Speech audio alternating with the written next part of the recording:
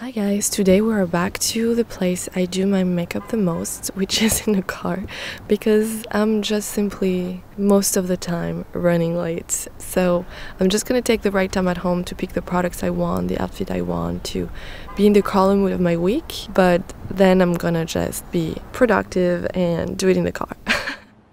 so today is no exception, that's why I wanted to show you uh, this look. I was very inspired by my outfit and those beautiful colors of nudes and uh, decided to do a look uh, with this. So I'm gonna start by having um, a complexion like not too heavy with the foundation but a little bit of concealer under my eyes.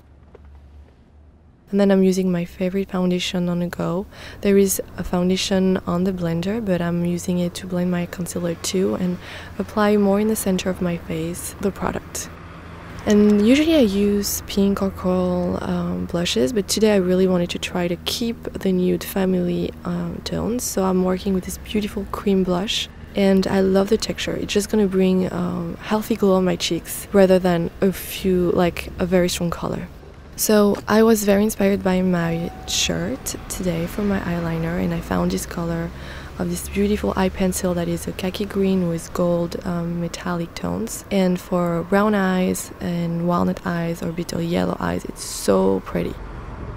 I love the effect of the eye pencil as a liner because the edges are more smooth and it's super easy to apply it in the car and uh, we just have more you know finishes or colors uh, with eye pencil than liquid liner so I really often do my liner with this one trick that I have is I use this little tiny um, Q-tip from Muji.